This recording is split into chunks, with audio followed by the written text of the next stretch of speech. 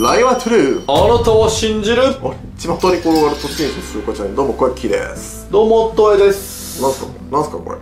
ポケモン界専用挨拶、えどういうこまあ、というわけでですね皆さん、まあ、今日は訳ありなんですよ。とえ訳あり？そう、はい。まあ、今まで僕たちはね、うん。まあ、先週もなんですけど、うん。訳ありのポケモンっていうのを紹介してきたんですよね。ああ先週ない時は弱体化ポケモンやったっけ？そう。悲劇強すぎて弱体化させられたポケモンが闇深い。うんうん。これなんとねもう865いいねもいってるんですよ。えすごいじゃん。いやもうめちゃくちゃありがたいですね。ね先週やったばっかりだよこれ。そう、ん。その回では、まあ、天国と地獄を味わったね、まあ、ポケモンを紹介したりもしたんですけど、今日はですね、うん。また違った訳ありのポケモンを紹介します。まだおんの？訳あり言います。へえ今日は、失敗作ポケモン。失敗作？そどういうこう。失敗してしまったんですよ。とへえこいつは失敗だっていうポケモンがいるんで、明らかに？そう、うんそいつを紹介していきます。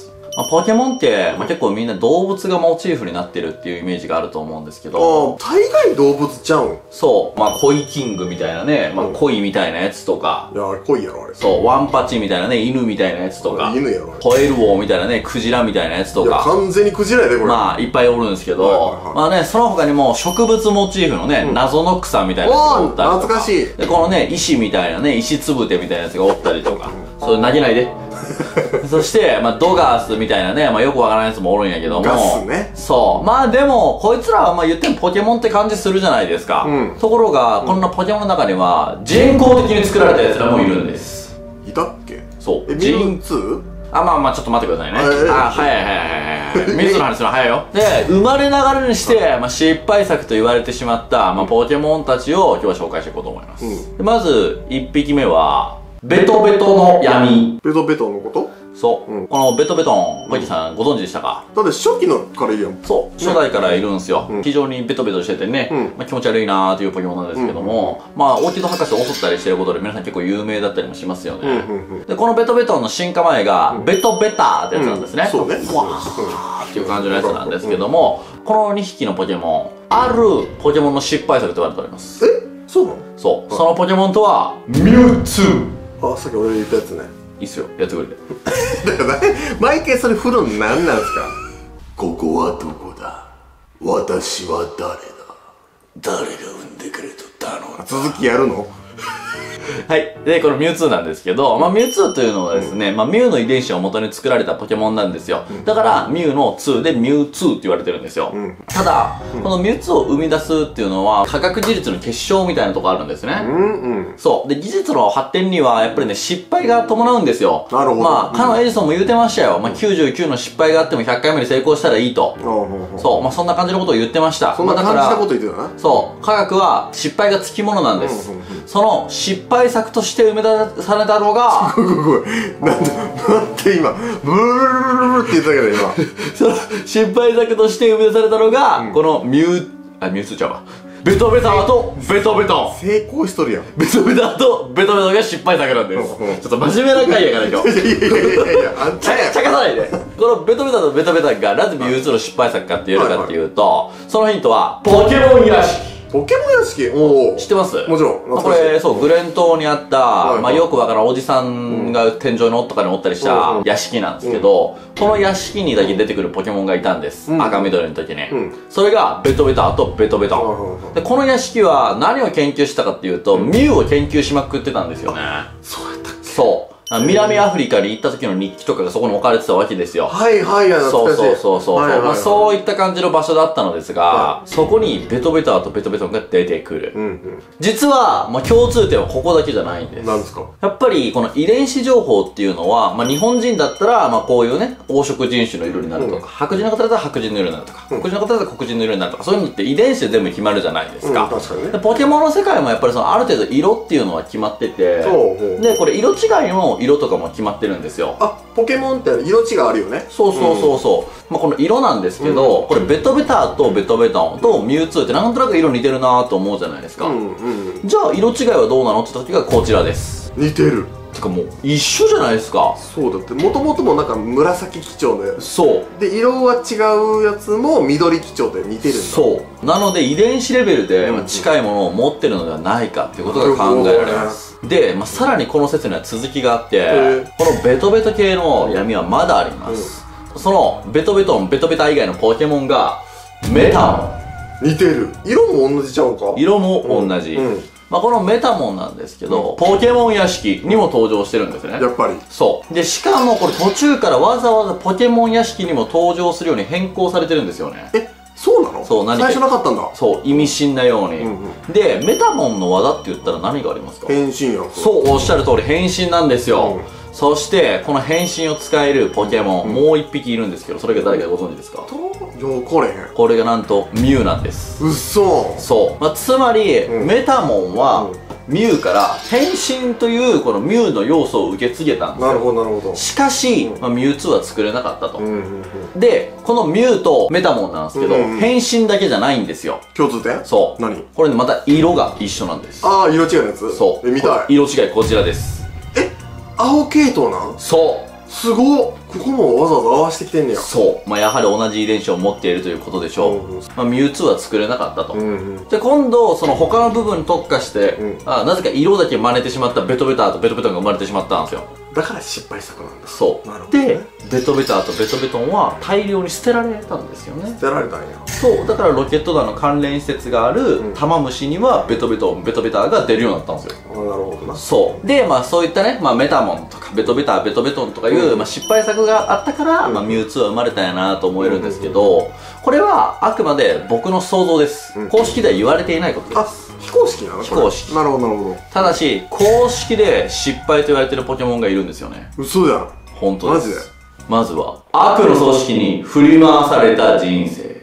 ポリゴンです。あポリゴン？ポリゴンの都市伝説前やったよね。やりました。クエストで。そう、まあ、ポリゴンショックでも有名なポリゴンなんですけども、このポリゴンって、ロケット団が作ったって知ってました？うん。なんかあのゲームセンターでどうのこうみたいな。そうそうそうそう、まあ、もうカジノですよね、うんうん裏カジノの高額商品やったわけですよ、うんうんうん。もうこいつは、うん。で、まあ、金儲けのために作られた人工ポケモンっていうわけだったんですけど、はいはいはいまあ、このポリゴンその後どういう人生をたどったかっていうと、うんうん。まずその、まあ、ロケット団にも、まあ、ちょっと出資してたんじゃないかと思われる大企業、うんうんシルフカンパニーの技術があって、ポリゴンは進化することができたんですね、はいはいはい。アップグレードという道具を使って。ポリゴン2そう、ポリゴン2。うん。まあ、おまるみたいな感じになるんですよ。うんうんうんまあ、非常に愛らしいですよね。うん。ここまではね、まあ、順調な進化とも言えるんですよ。うん。進化するために必要なアップグレードの説明にも、中にいろんな情報が詰まった透明な機械、うん。シルフカンパニー製と書かれてるんで、まあ、なんか普通にバージョンアップって感じですよね。うん。iPhone とかのね、うん。で。さらにポリゴン2はもう一段階進化できるんですけど、うんうんうん。それがポリゴン Z。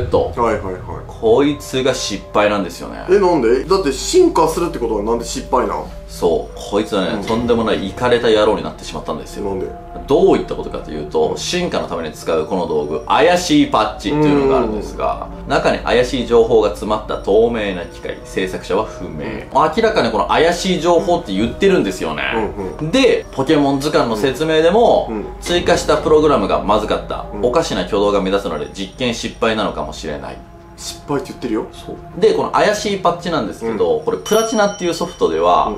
どういった入手手段かって言ったら銀河団のアジトで落ちてるんですよ。ああその時のね悪の悪の組織、ねうんうんそう。でこれつまり悪の組織の手によって生み出され、うん悪の組織の手によってバグらされた、とんでもないかわいそうなポケモンなんですよね、え悲劇でしかないやん。そう。そしてポリゴンショックもあるという。ああまさにな。で続きまして。ははい。まだあるの？い。次ラストの失敗作ポケモンです、神になる予定だったポケモン。どういうこと？小池さん3分やってありましたよね。これこれなんかあの普通噛む時ってどっか一部も噛むやんか冒頭とか途中とか最後とかね。最初から最後まで聞き取られへんってすごいと思うよ俺。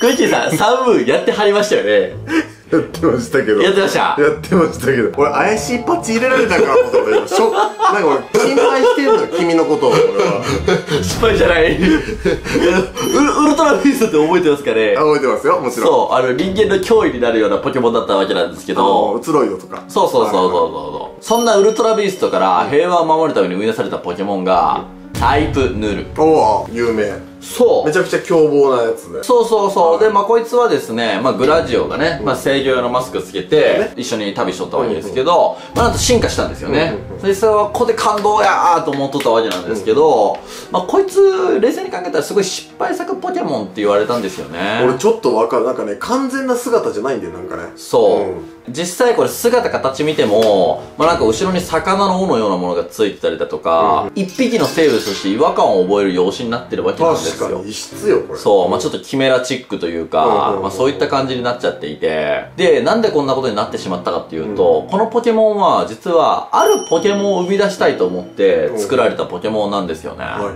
そのポケモンがアルセウス。おお全知全能の神と言われるポケモンですよ。ねえ。そう。もうアルセウスかゼウスかって言われるぐらい。なんかなんか前言ってたよね。なんか伝説ポケモンの時にさなんか宇宙でなんか最初に誕生したみたいななんか。そうやね。こいつ宇宙始まる前に出てきて、で宇宙を作ったポケモンやねあそうですそう宇宙作ったポケモンなんや。いや、すごいよ。すごいやん。で、まあ、そこからそのディアルガとパラルケを生み出して、うん。時と空間っていう概念を生み出したから、はいはい。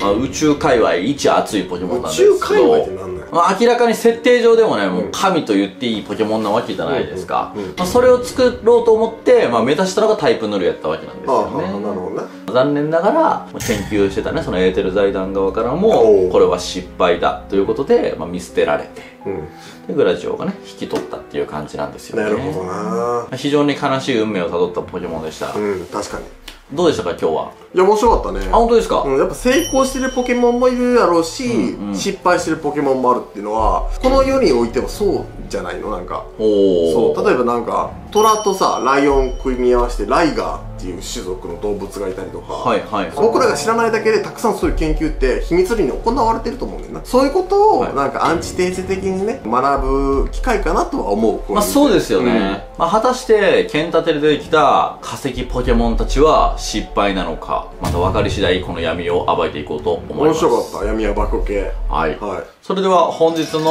鳥肌スコアは、はい2、え少ななんで？ミュウツー、ポリゴン2。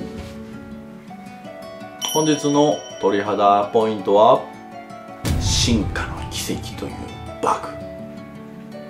それでは、さよなら。